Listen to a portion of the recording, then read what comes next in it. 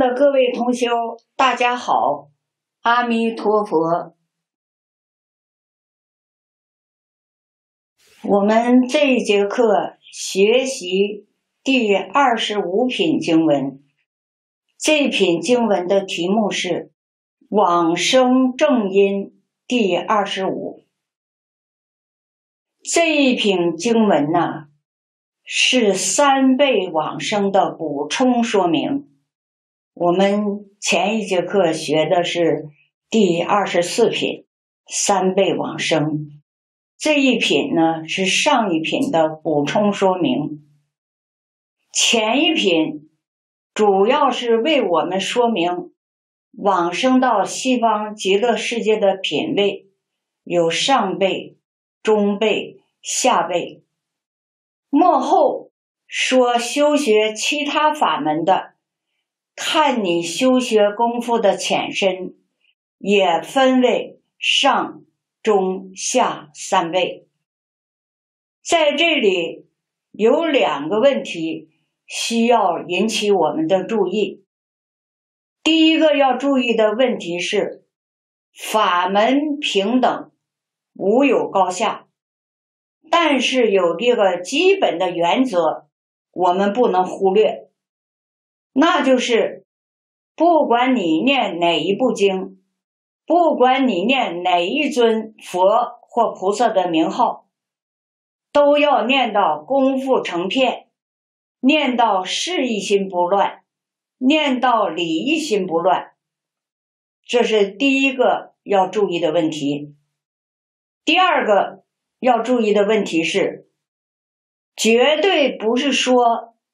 我们专学《无量寿经》的，专念阿弥陀佛名号的，就一定是上品上生；而修学其他法门、回向往生的，品位就低一点。这个认识是错误的。品位的高低，完全是靠你修学功夫的浅深。这两个重点问题。我们一定要掌握这一品呢，是补充说明三倍修行的因与缘，是非常重要的一品经文。题上的往生正因的正因，就是三倍往生的因行。下面我们看这一段经文。福赐阿难，若有善男子、善女人，闻此经典，受持读诵，书写供养，昼夜相续，求生彼刹，发菩提心，持诸警戒，坚守不犯，饶益有情，所作善根。悉施与之，令得安乐。意念西方阿弥陀佛，积彼国土，世人命中如佛色相，种种庄严，生宝刹中，速得闻法，永不退转。这一段经文比较长，我们把它分开来，一段一段的。和同学们说，先看前面这几句经文：“福赐阿难，若有善男子、善女人，闻此经典，受持读诵，书写供养，昼夜相续，求生彼刹。”这几句经文是说上辈往生的。这一品经文呢？是一共分为四段，那就是上辈、中辈、下辈，还有一心三辈，是分四个段落来说明，说明这几类往生者的修因。我们看下面两句：善男子、善女人，这个我们多次接触到。现在看看在这个时候，这个地方怎么样来解释？什么样的人才能称为善？善男子、善女人，必须具足善根福德因缘。正如《阿弥陀经》上所说的，不可以少善根福德因缘得生彼国，就是这三个条件必须是具足的，这才是本经所说的善男子、善女人。他们听到这部经，你不必劝他，也不必教他，他自然的。就依教奉行了，具体体现在以下的修持上，就是善男子、善女人，他们是怎么样修持的？体现在以下几个方面：第一，受持。闻说此经，一定是非常欢喜接受。对于经典所讲的理论方法，以及所说的种种修学环境果报，没有丝毫怀疑，完全接受。持是不会失掉，不是学一段时间，听说又有别的法门成佛快了，又变心了，把这个法门舍掉了。又去学那个法门了，持是不会失掉，就是保持的意思。这个持呢，还有一个意思，就是保持永远。有同修没有搞明白“受持”两个字的意思，他们以为每天把《无量寿经》念一遍就是受持，那不是受持。受持真正的含义是真正明了经义、理论、方法、境界，而且能在日常生活当中例行，跟生活融合在一起。佛法就是生活，生活就是佛法，这是真正受持的意思。这是第一个体现，第二个体现，读诵。你受持以后，决定要读诵，因为不读诵，你就会忘掉的。就使你记得很熟，每天还是要读诵。读诵的目的是时时提醒自己，念念不忘师尊的教训。读诵。不单利益自己，而且利益众生。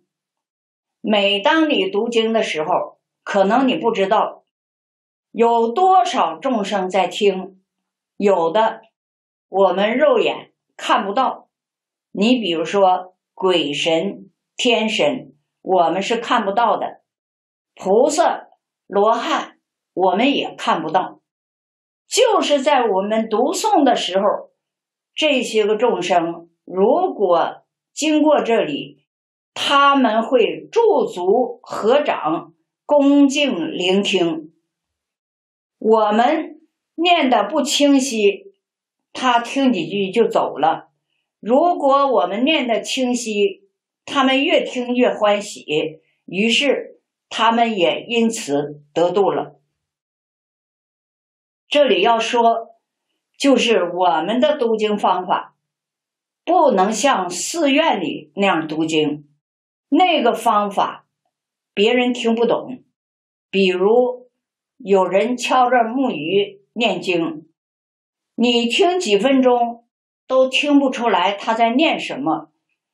这个就是有的众生，如果他站下来听，他听了一会儿什么也没听明白，他就走了。所以这个不利于度化众生。老法师教导我们，让我们记住两个词，一个词叫本土化，一个词叫现代化。我们今天要度现代人，要度现代的鬼神。这个词儿我们听了可能感到新鲜。这鬼神还有现代的，对，就是我们今天要度的是现代人，要度现代的鬼神，要度本土的众生。本土的众生是指谁？就指我们眼睛看不到的。读经的时候，速度要放慢一点，让他听得清清楚楚。如果你念的句子也没有，段落也没有，他就不听了，甚至还让他生烦恼了，他就不受益了。久而久之，他就不听了。那你想，众生不受益，他怎么能得度呢？所以我们要注意这一点。读经的时候，把速度放慢一点，让众生听清楚。我读《无量寿经》比较慢，我读一部经大约是七十分钟左右。有时候我也很羡慕读得快的同修。我听说有同学半个小时读一遍《无量寿经》，我自己也曾经想快点读，但是怎么也快不起来。后来听老法师这样的一番开示，我的心就踏实了。我这样读还是可以的。读诵经典是自利利他，是大慈大悲的流露。符合四弘誓愿的众生无边誓愿度，用什么方法度？我们就用读诵大乘来度一切众生，希望众生都能听到，都能听得明白，都能理解我们的读诵，这就对了，这就是度众生。第三个。书写，书写就是我们今天讲的流通，不要误解了这个书写的意思。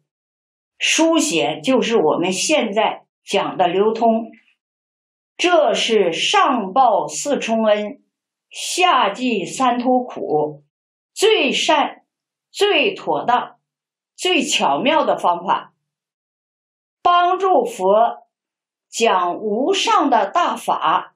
推广、普遍介绍给一切众生。现代流通的方法很多，也很方便。我们要尽心尽力的流通念佛法门，因为这个法门最简单、最容易、最稳当，人人能修，人人能念，人人能成就。第四，供养，供养的范围很广，一切供养中，法供养最最殊胜的供养是法供养。下面我想重点说说法供养，法供养的范围也包括的很广，主要是。包括下面的七大类。第一类，如说修行供养。这句话浅显的、明白的说，就是依教奉行。依教奉行就是如说修行供养。我们以前不知道，依教奉行也是供养。如说修行供养还有另外一层意思，我们也要清楚，那就是不但要供养诸佛菩萨，同时要供养法界一切众生。不但要供养一切众生，尤其还要供养自己的佛性，功德利益不可思议。你的心量跟虚空法界一样大，心包太虚，量周沙界，大开圆解之后才有原形，形就是事事无碍，解就是理事无碍，都无碍了，才能展现圆满的生活，圆满的人生。所以说，如说修行供养，既是做一切众生大圆满的示范。这就是上供诸佛，下供众生。我们把这一段一定要熟悉，知道怎么供养，供养谁。这是第一类。第二类供养是利益众生供养。佛弟子起心动念，都要利益众生。不但叫众生得利益，而且要希望众生得最圆满、最殊胜的利益。如果没有这个心愿，你不是佛弟子。如果说我得十分利益，我教你得七分、八分的利益，那是小气，那是小心量，不是佛弟子。我们不但希望众生得大利益，而且真正希望一切众生得到的利益要超过我所得到的利益，要有这样广大的心量，以种种善巧方便帮助一切众生离苦得乐。这是第二类利益众生供养。第三类。摄受众生供养，谁能摄受众生？唯有佛与大菩萨能摄受众生。佛弟子学佛，就要效法佛陀，学佛怎样存心，怎样用心，怎样待人，怎样接物。这都是我们应当学习的地方。到哪里去学？到《无量寿经》里去学，到四十八愿里去学。《无量寿经》就是阿弥陀佛。你把《无量寿经》参透了，你就跟阿弥陀佛一样，你就是阿弥陀佛，你就有能力摄受一切众生。如果你有这个愿心，于一切时、一切处、念念之中，将念佛法门介绍、推荐给一切众生，让他欢喜接受，这就是摄受众生供养。摄受有无量的善巧，你要有智慧，就会很灵活的应用。这是第三类摄受众生供养，下面第四类代众生苦供养。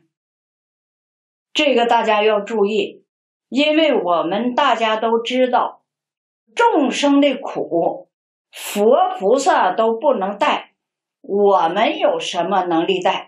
对这个疑问，咱们可能一直在心中有这个疑问，现在。在这个里，我给大家做如下的解释。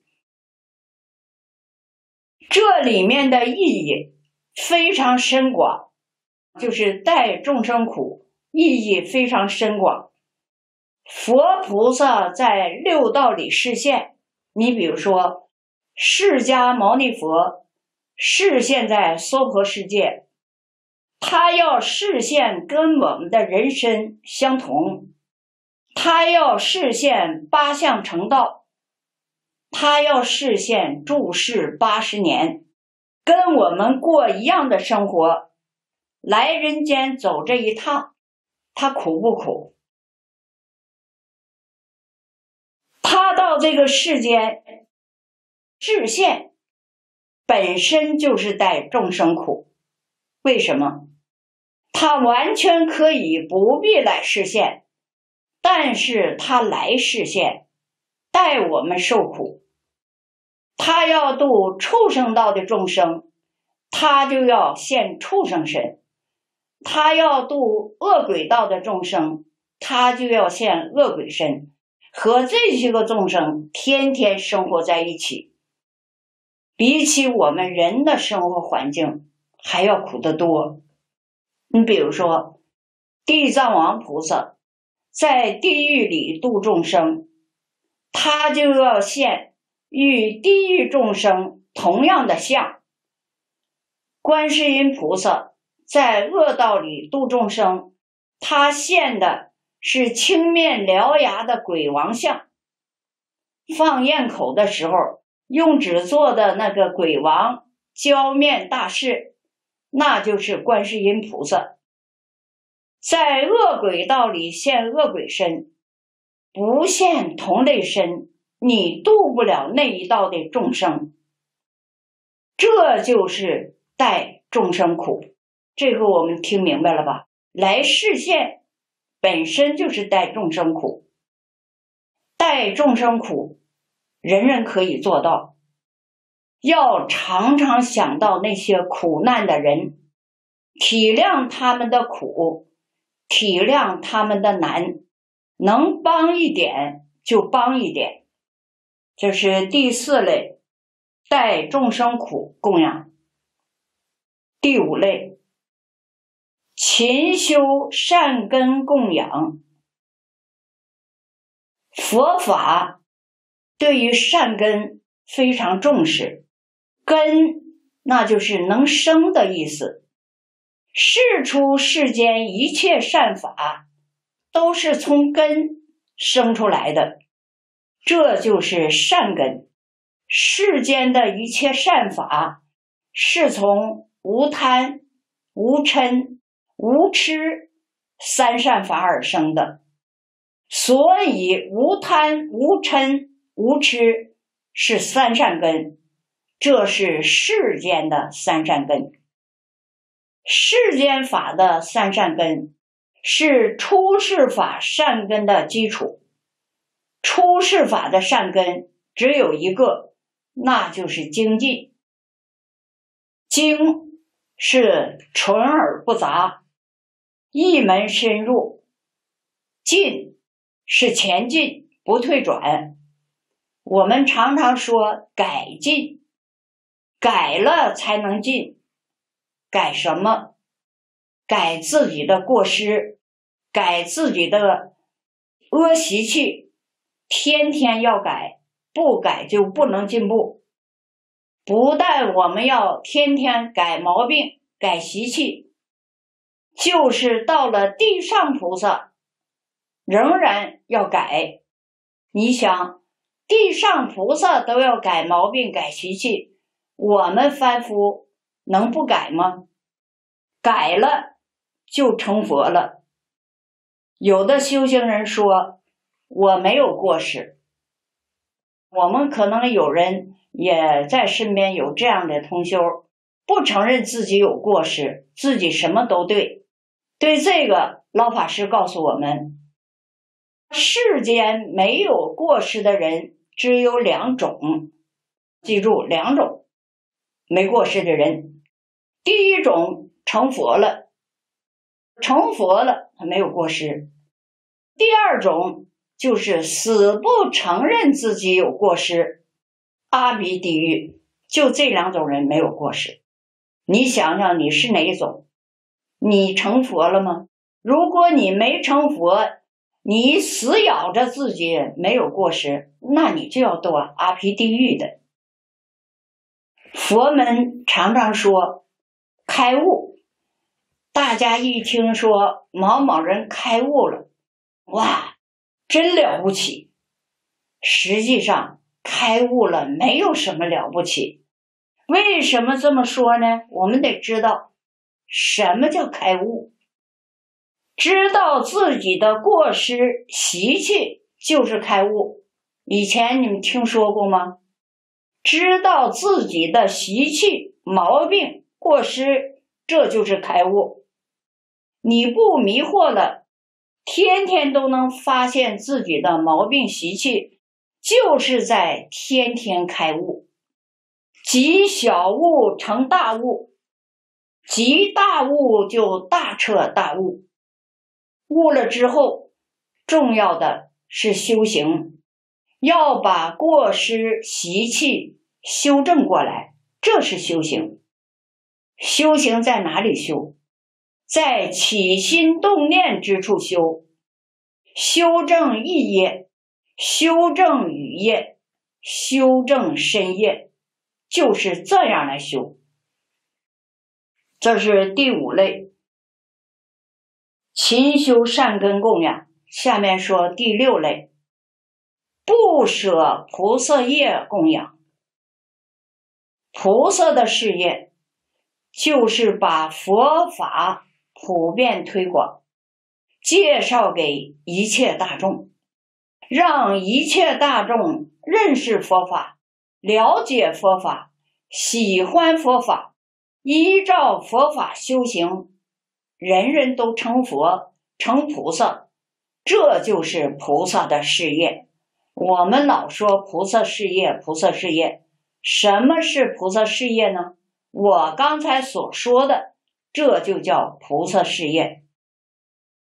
世出世间所有的事业，菩萨事业最伟大、最真实。世间所有的一切都是。虚妄的，《金刚经》上讲，凡所有相，皆是虚妄。行愿品里讲的更清楚，世间所有的一切，到你临命终时，一样都带不去。什么东西你能带去呢？只有菩萨事业可以带去，所以菩萨事业最真实。这是一个自行化他的事业，在一切事业里，菩萨事业是最有价值、最有意义的事业。这是第六类，不舍菩萨业供养。第七类，不离菩提心供养。菩提心有两种说法，一种说法是。大乘起心论里讲的是直心、身心、大悲心，讲的是这三心。观经里讲的是至诚心、身心、发愿回向心，这是一种说法。另一种说法是偶益大师在要解里说的：一心一意求生净土。亲近弥陀，即是无上菩提心。老法师非常赞叹这个说法，说这个说法非常确实，我们容易理解，也容易做到。这就是对菩提心有两种说法，意义都是一样的，说法不同。老法师赞叹偶一大师的这个说法。因为这个我们容易理解，也容易做到。菩提心说白了就是觉悟的心，觉而不迷就是菩提心。对人觉而不迷，对事觉而不迷，对物觉而不迷，这才是不离菩提心供养。行愿品里讲到的供养，说了这么七大类，每一类展开都是无量无边的。为什么法供养胜过财供养？有的人说，那财供养也很了不起啊。经上是这样告诉我们的：以诸如来尊重法故。以如说行出生诸佛故，若诸菩萨行法供养，则得成就供养如来。这是经上的一段话。因为什么？因为十方三世一切如来都尊重法供养，唯有佛法才能真正帮助一切众生。永脱轮回，圆成佛道。所以一切诸佛皆遵法修行而成佛。学佛的人，你如果轻慢佛法，岂不是轻慢诸佛如来吗？障碍法师讲经说法，障碍法宝流通，就是障碍一切诸佛的宏愿。这个过失。很重很重，由此可知，流通法宝的功德无量无边。我们每一个人在这一生当中，一定要尽心尽力帮助佛法流通，这就是圆满的功德。真正修法供养，就是供养如来。就是供养诸佛的法身，供养诸佛的报身，供养诸佛的应化身，就是佛的三身，你都供养了。供养一切众生，就是不单供养诸佛菩萨，还要供养一切众生。这样的供养才是真供养。下面我们看这两句经文：“昼夜相续，求生比刹。”这一句是总结前文。我们听到这部经典，受持、读诵、书写、供养，都要昼夜相续，就是念念不能间断，以此功德。回向求生西方，没有不如愿的。这个求生比刹，就是求生净土，发菩提心。十方诸佛都劝我们求生西方极乐世界。假如西方极乐世界不殊胜，那十方诸佛为什么要劝我们求生极乐世界呢？如果不是其他种种的法门，在一生中很难成就，那诸佛又何必让我们念佛求生西方呢？这些很深远的意义，我们都要体会到。要知道，不生西方，必定轮回；既然轮回，必定堕三途。这是无法避免的。我把这三句话再重说一遍：不生西方，必定轮回；既然轮回，就必定堕三途。这是无法避免的。堕三途太苦太苦了，进去容易出来难。佛再一次劝我们要提高警觉心。同学们，我们可别把佛的劝告当儿戏呀！要时时刻刻提高警觉，老实念佛，求生净土。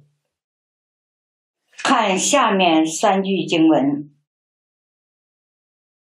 发菩提心，持诸警戒，坚守不犯。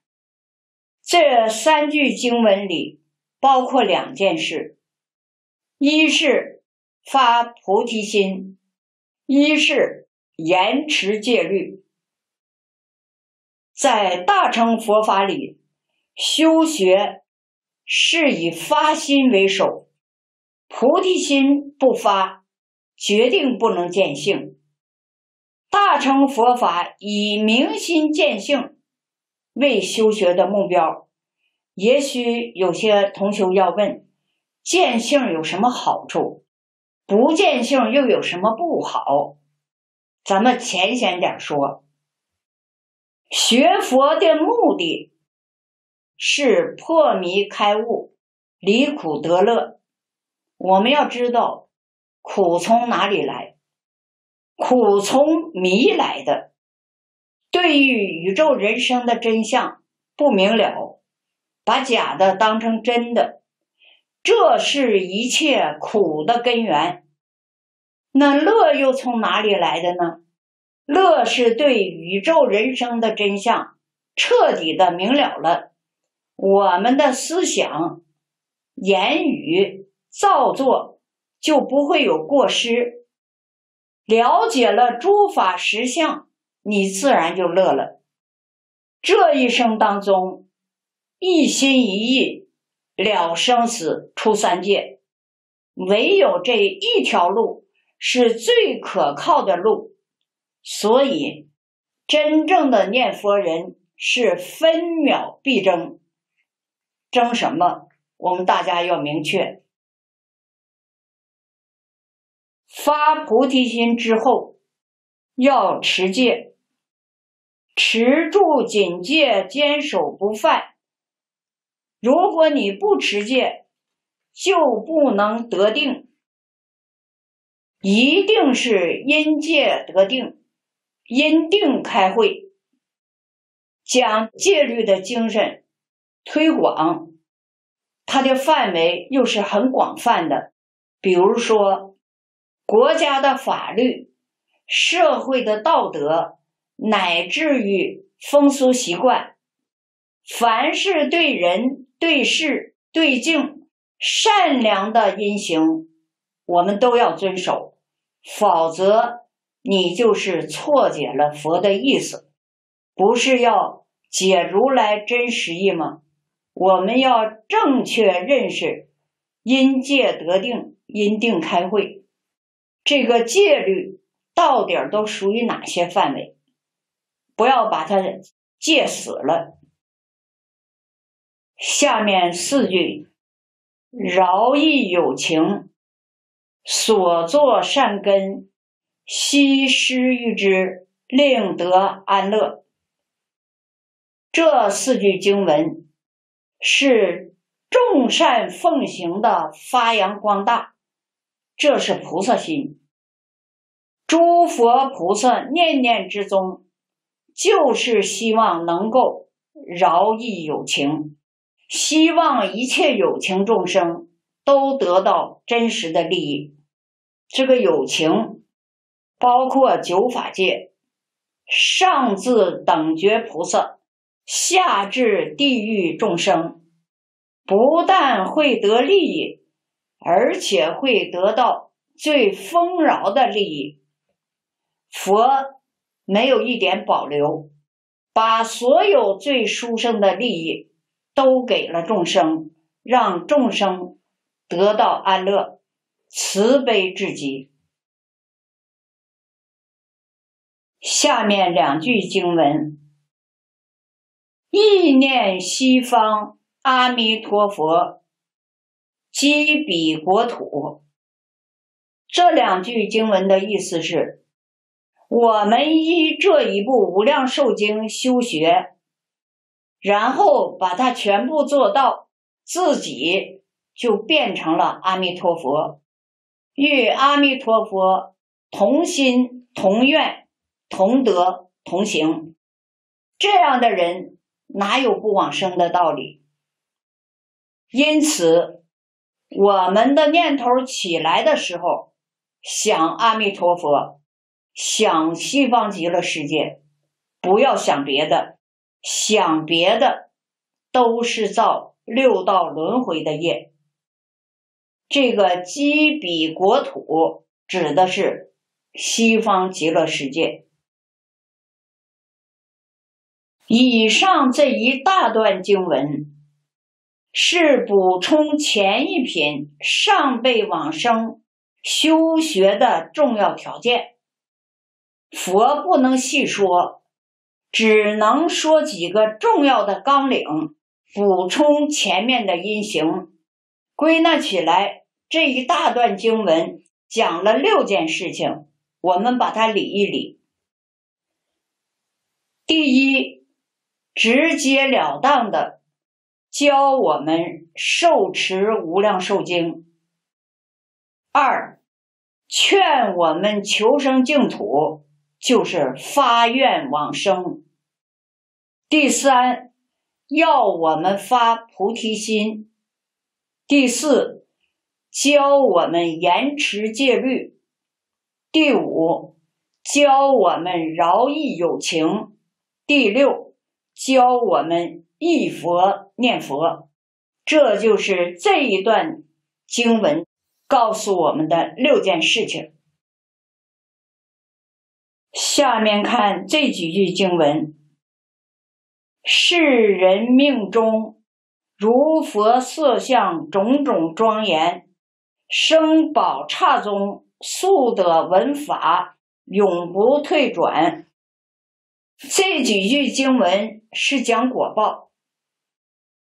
此人临命终的时候，佛来接引他，他往生到极乐世界，色相庄严，跟阿弥陀佛一样。我们继续看下面的一段经文：福赐阿难，若有众生。欲生彼国，虽不能大精进禅定，尽持精戒，要当作善。所谓一不杀生，二不偷盗，三不淫欲，四不妄言，五不绮语，六不恶口，七不两舌。八不贪，九不嗔，十不痴。如是昼夜思维极乐世界阿弥陀佛种种功德，种种庄严，至心皈依，顶礼供养。世人临终不惊不怖，心不颠倒，即得往生彼佛国土。这一段经文比较长，咱们慢慢的往下说。先看这几个词汇，这一段词语比较多，需要解释的。不杀生，这个大家一听就明白，就是不杀害一切众生的生命。不偷盗，偷盗就是不欲而取。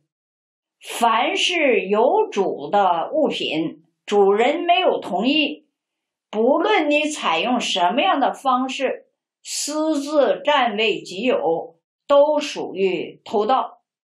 反之，即是不偷盗。下面不淫欲，对异性不做非礼之想，不做非礼之行为。不妄言，说话诚实，不欺骗人；不绮语，不说花言巧语、诱惑等误导人的话；不恶口，不说粗鲁难听的话；不两舌，就是不搬弄是非。不贪，对喜欢的事物不过分的贪求；不嗔，对不如意的事物不起嗔恚心；不吃，对事理因果的真相明白了解；智心就是专心一意。下面我们看这五句经文：福赐阿难，若有众生欲生彼国，虽不能大精进禅定，尽持经戒。这是五句经文。这个是中辈和上辈在缘上差异等。这一段经文是告诉我们，中辈和上辈相比，在缘上差一等，没有上辈那样殊胜的缘分。说纵然想做，俗话讲就叫心有余而力不足，他的障碍多，所以不能大精进禅定。这是关系大众的福报。我们真正发心想修行，没有道场，找不到道场，即使有场所。也没有如法的善知识领导我们修行，没有善友来护持道场，一个真正道场的缘，的确是不容易具足的。现代人修行啊，比从前的人要难。为什么？从前的人呢，有一点道心。他只看自己，不愿意看别人。现代人呢，是专门看别人的毛病，因为这个共修就很难成功。共修有个基本的原则是决定不见他人过。注意了，共修的一个重要的原则是决定不见他人过。如果看别人的过失，共修就不如独修好。独修容易成就，共修不容易成就。这几句话非常重要。在现在这个时代，共修不如独修好，独修容易成就，共修不容易成就。世尊当年在世的时候，叫“共学独修”这四个字，“共学独修”什么意思呢？就是佛讲经说法的时候，大家都来在一起学、研究、讨论；修行的时候，就是个人修个人的，是独修，不是共修。这就是中辈的缘不如上一辈，不如上辈的缘。下面一句经文：要当作善，一定要断恶修善，这很重要。佛提出修十善业，这是断恶修善的根本。中辈往生的人一定要做到。下面几句，所谓一不杀生，二不偷盗，三不淫欲。这三句说的是深三，也叫做深三业。在这里呢，我想重点说说关于偷盗，因为偷盗里最重的罪是盗三宝物。可能我们不注意，很多时候都不经意的就犯了。三宝物就是寺院里的财物，因为寺院是十方道场，也就是尽虚空变法界，所有的出家人都有份儿。寺院的财物是公共的，如果你盗取了。劫的罪不是一个寺院的常住，而是虚空法界一切出家人，因为这是十方供养的，一针一线都不能动。佛常常讲，侵占偷盗常住物，佛不能救，必堕地狱。大家注意了，一定要引起重视。侵占、偷盗常住物，佛不能救，必堕地狱。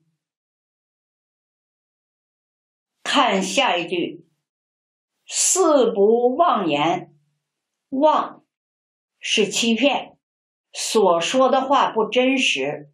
这里有两种情况，一种是存心骗人，另一种是道听途说。也属于妄言。事实真相没有搞清楚，听别人说的，这是谣言。话越传越讹，越传与事实越不相符，这是妄语。妄言的罪过，要看大众受害程度的浅深、广泛而结罪。假如对于众生伤害很大，这妄语罪就重。纵然受害的是一个人，但这个人耿耿于怀，念念在心，一心想报复，这个妄语罪也重，因为造成了冤冤相报。所以妄言的罪过非常重，尤其是事实真相没有搞清楚，绝对不可以道听途说。人云亦云，一个真正的修行人，与自己不相关的事儿，何必去打听？何必去追根究底儿？古德常说：“知识多时烦恼多，何必要知道那么多的事儿，给自己找那么大的麻烦呢？”下面三句。五不其语，六不恶口，七不两舌。这里的绮语是花言巧语，欺骗众生；恶口是说话粗鲁；两舌是挑拨是非。这是言语的三种过失，果报。甚苦难思，注意最后一句话，这是言语的三种过失，果报甚苦难思。下面三句：八不贪，九不嗔，十不痴。贪嗔痴是三毒烦恼，这是大家都知道的。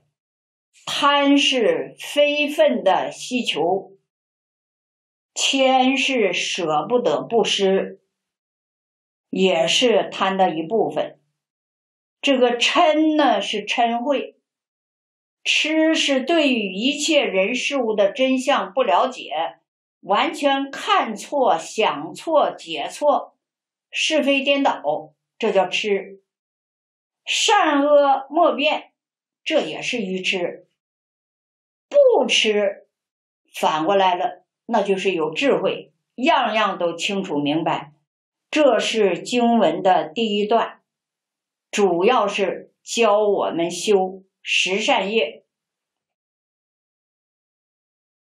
往下面看，如是昼夜思维，极乐世界阿弥陀佛种种功德。种种庄严，这是四句经文。这是教我们昼夜念佛，念佛的功德，念西方极乐世界的一正庄严。看下面两句：至心皈依，顶礼供养。我们学佛要从一切法门回头。专一净土法门，从一切经论回头，专一无量寿经。从前念很多诸佛菩萨，从今以后专念阿弥陀佛，这才是真正的皈依。总而言之，要皈依一个法门，皈依一部经典。皈依一尊佛，这样心就定了。心定了，就一定能够成就。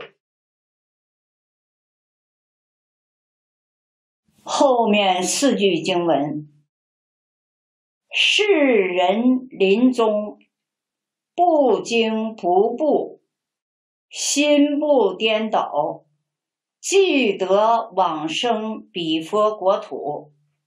这是中辈往生，嗯，这几句经文这是中辈往生。这里面有三条提醒我们：中辈往生，你要具备哪几个条件是必不可少的呢？第一，要修行十善；第二，要昼夜念佛；第三，至心皈依，顶礼供养。上面。那一大段经文，我们刚才说完。这一段经文是补充中辈往生的修因。大家可以看到，三辈往生在这部经里是占有非常重要的位置。前一品经文已经讲了三辈往生，这一品经文。又对前面讲的做一补充，这个利害关系我们就显而易见了。所以说，我们一定要把三倍往生这两品经文仔仔细细的读诵，读多了，自然你就明了了事实的真相了。就是上辈什么条件可以往生，往生的时候是什么样。中辈什么条件可以往生？往生的时候是什么样？下辈往生需要具备什么样的条件？这两品经文都说的非常清楚了，所以我们衡量衡量，我们自己往生的时候能属于哪一种往生？你能不能上辈往生？有的同学可能说，我现在是个凡夫。能往生就不错了，何谈上辈往生呢？不要自暴自弃，每个人都可以达到上品往生。前两天我跟同学们闲聊的时候，我说我姐姐在没往生之前，无论如何我也想象不出来我姐能上品上升，往生西方极乐世界去做佛。我说我无论如何也想象不到我姐是观音菩萨。虽然二零零八年那一年我姐姐做腿的截肢手术，就那一天，好像我有一种灵感，不知道谁告诉我说我姐姐是观音菩萨，我过耳就忘了，我没有把这个当回事儿。另外，我想这个事儿不能随便乱说。所以我一直没有说这个事儿。如果不是我姐姐自己在往生前把他的前前后后的事实真相都给我们写出来了，说实在的，我可能也有疑惑。但是因为他写的那么明明白白，叫你不容你怀疑了，你不信也得信了。我这个人不是轻易的。就相信什么的，没有事实在面前，不太容易让我相信。所以我就想，我姐姐作为一个普普通通的老太太，那一辈子是太平凡、太平凡、太平凡了。恰恰就是这样一个平平凡凡的老太太，最后往生的时候是那么潇洒自在，那么明白，把所有的一切。都跟我们交代的清清楚楚，因为我了解我姐姐的整个人生经历，所以他临往生的那前五天，再多一点前七天，他所跟佛友们说的那些话，令我吃惊，因为我知道他读经比较少，一共就读了十个月的《无量寿经》，那些个词语他根本不知道。他为什么在最后那六七天里说的那么淋漓尽致？当时我记得我问我姐，我说这些个词、这些个话，你搁哪儿学的？你怎么会说呢？我姐笑了，她说：“该我知道的时候我就知道了。”她说：“我现在说这些话呀，就像从嘴里冒出来的似的，你不说都不行。”你都控制不住，就得说出来，而且说的你现在回过头来仔仔细细的想一想，没有一句是假的。所以我跟同学们说，我们坚定信念，老实念佛，我们每个人都可以达到自在往生，达到上品上升，也并非是一件不可能的事。希望同学们努力。这一节课的交流就到这里，感恩大家，阿弥陀佛。